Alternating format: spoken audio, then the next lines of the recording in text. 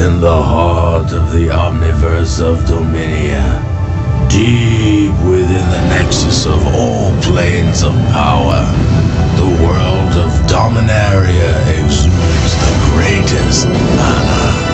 Together, the magic of the five mana can harmonize mankind or become the most powerful destructive force capable of ripping apart the universe.